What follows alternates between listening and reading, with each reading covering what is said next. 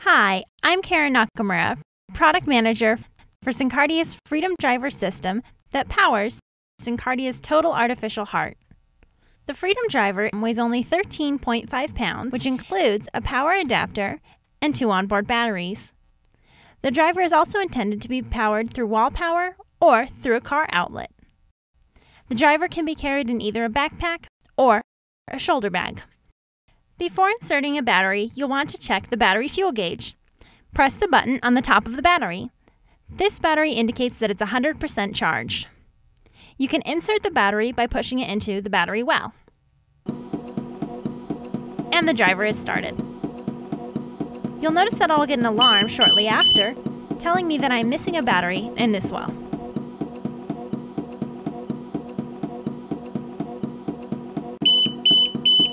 A battery alert is also intended to sound when one of the two removable batteries drops below 35% charge. The driver is designed to continue to alarm until charged batteries are inserted into the driver. By pressing the display button, patients can read their beats per minute, their fill volume, and their cardiac output.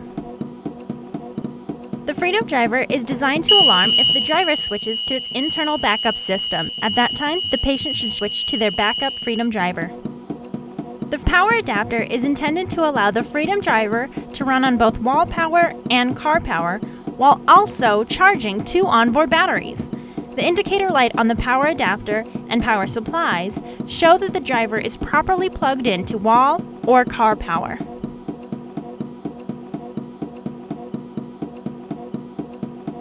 Freedom Driver is designed to be wearable. The patient has a choice to carry the driver in either a shoulder bag or in the Freedom backpack. This video is only an introduction to the Freedom Driver system. If you have any questions, please contact your heart hospital.